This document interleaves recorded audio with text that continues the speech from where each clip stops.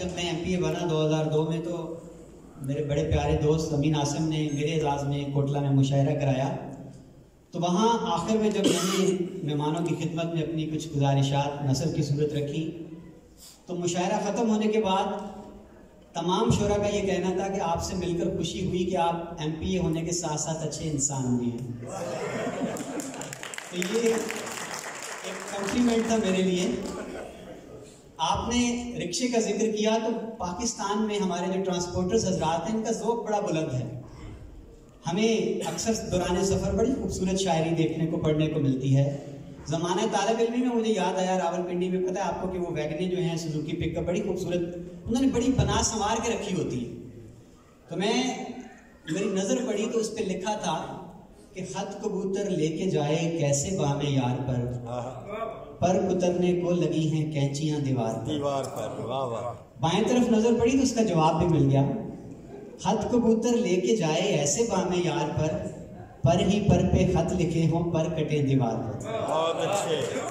بہت شکریہ۔ اور اب ہمارے بڑے محترم دوست بڑی خوبصورت آواز ہیں بڑا عرصہ دیار غیر میں رہے۔ آج کل پاکستان میں درس و تدریس سے وابستہ ہیں۔ تو کہتے ہیں، ایک جذب سرے دشت جنو بھر کے دکھا دوں۔ کہتا ہوں جو میں اس پہ عمل کر کے دکھا دوں۔ مرتا ہوں میں تم پر، یہ حقیقت ہے میری جان۔ بولو تو کسی روز تمہیں مر کے دکھا دوں۔ آپ کی بہت سی تالیوں میں تشریف لاتے ہیں، جناب ارشد شاہین۔ حضرات گرامی قدر عامر عثمان عادل صاحب محبت کا ایسا بہتا دریا ہے، یہ جب تعریف کرتے ہیں کسی کی تو اس قدر کر دیتے ہیں کہ تعریف کیا جانے والا شخص اس سوچ میں پڑ جاتا ہے کہ کیا جو لفظ انہوں نے میرے لیے استعمال کیے میں ان پہ پورا اتر سکوں گا یا نہیں۔ یہ ظاہر ہے کہ ان کی محبت اس کے پیچھے بول رہی ہوتی ہے۔ بہت شکر گزار ان کا ہمیشہ اسی محبت کا مظاہرہ انہوں نے کیا جب بھی جہاں بھی دیار غیر کی انہوں نے بات کی دیار غیر سے پہلے بھی میں دیار غیر میں تھا۔ لاہور میں اٹھارہ بیس سال کا عرصہ گزرا۔ اللہ تعالیٰ نے شعر و ادب کے حوالے سے عزت دی، لیکن جہاں بھی مشاعرے کے لیے بلایا گیا، میرے نام کے ساتھ لاہور لکھا ہوتا تھا۔ خوشی ضرور ہوتی تھی کہ اللہ تعالیٰ کی دین ہے، یہ عزت خوش ہونا چاہیے۔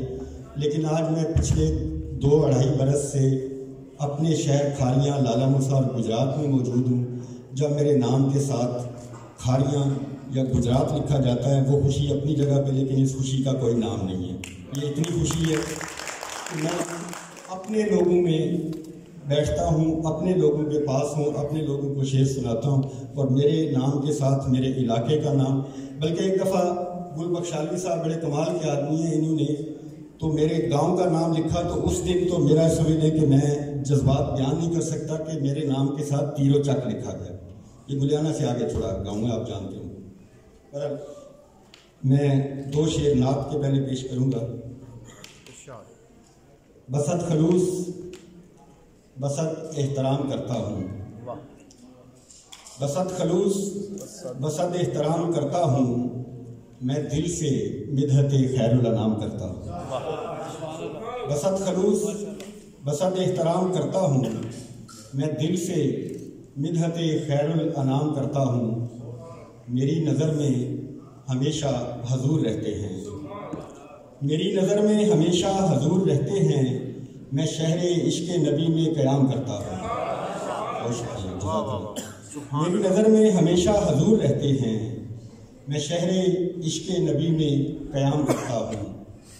دو تین شعر اور کے پہلے ایک امتحان سے گزارا گیا مجھے۔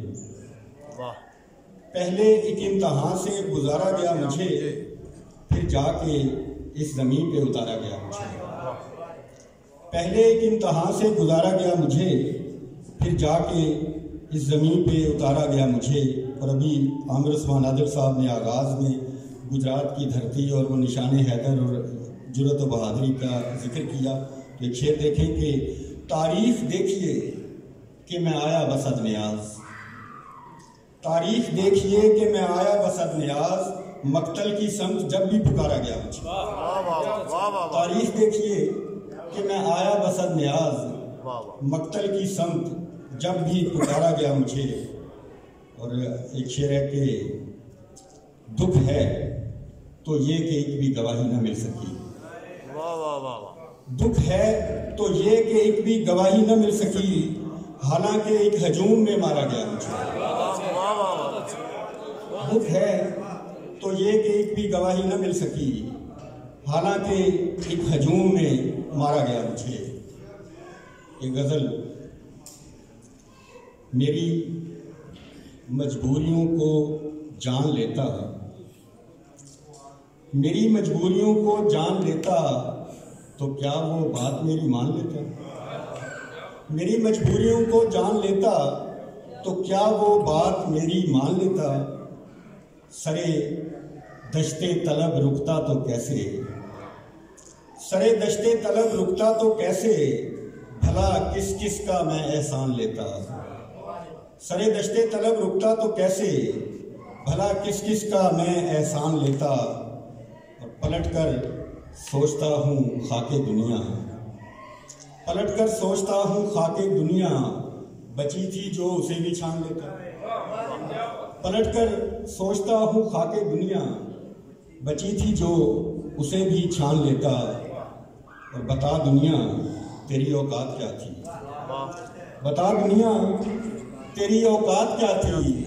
تجھے پانے کی گر میں ٹھان لیتا۔ بتا دنیا تیری اوقات کیا تھی؟ تجھے پانے کی گر میں ٹھان لیتا۔ اور ذرا سی چوک ہو جاتی تو دشمن۔ ذرا سی چوک ہو جاتی تو دشمن میرا خنجر مجھی پہ تان لیتا۔ ذرا سی چوک ہو جاتی تو دشمن میرا خنجر مجھی پہ تان لیتا۔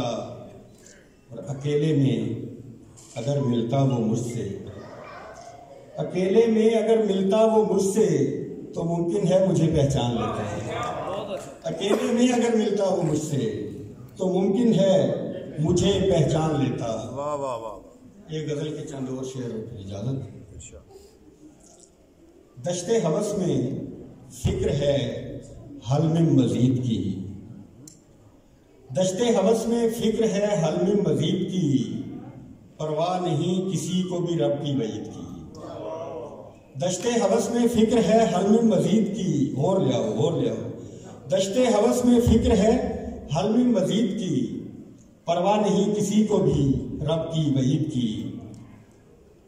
اور پرواہ نہیں کسی کو بھی رب کی وعید کی۔ پرواہ نہیں کسی کو بھی رب کی وعید کی۔ خوف خدا کے نام کو دل میں نہیں مگر مسجدیں بھری ہوئی ہیں، کتاب بھی ہوتے ہیں، اثر کوئی نہیں نظر آ رہا وجہ یہ ہے کہ جہاں سے آواز آ رہی ہے وہیں عمل نہیں۔ خوف خدا کے نام کو دل میں نہیں، مگر ممبر پہ گونج آیا یہ حبل البرید کی۔ خوف خدا کے نام کو دل میں نہیں، مگر ممبر پہ گونج آیا یہ حبل البرید کی۔ اور قرآن کی آیتیں ہوں۔ جاوید شاہ صاحب، قرآن کی آیتیں ہوں کہ کول رسول ہو۔ قرآن کی آیتیں ہوں کہ کول رسول ہو مطلب کی بات ہم نے ہمیشہ کشید کی یہ المیہ ہمارا پاکستانی۔ قرآن کی آیتیں ہوں کہ کول رسول ہو مطلب کی بات ہم نے ہمیشہ کشید کی۔ مطلب کی بات ہم نے ہمیشہ کشید کی۔ اور کب تک کریں گے؟ صاحبو ہم یہ منافقت۔ کب تک کریں گے صاحبو ہم یہ منافقت۔ دعویٰ حسینیت کا حمایت یزید کی۔ کب تک کریں گے صاحبو ہم یہ منافقت۔ دعویٰ حسینیت کا حمایت یزید کی۔ دعویٰ حسینیت کا حمایت یزید کی۔ اور چشم فلک شہید ہے۔ جی جی۔ چشم فلک شہید ہے فکر حسین نے۔ ہر دور کے یزید کی مٹی پلید کی۔ چشم فلک شہید ہے فکر حسین نے۔ ہر دور کے یزید کی مٹی پلید کی۔ واہ واہ یہ محترمہ کا یہ شعر یہاں بینر پہ موجود تھا میری یہ غزل اسی زمین میں۔ تو دو تین شعر اس کے اس کو دیکھ کے یاد آ گئے۔ میں وہ پیش کروں گا اور آپ ہی کی نظر ہے کبھی تم خود بھی آ دیکھو بوڑھا تو میں اب بھی نہیں ہوں، لیکن یہ بہت جوانی کے دور کی غزل ہے۔ کبھی تم خود بھی آ دیکھو، یہ منظر شام سے پہلے۔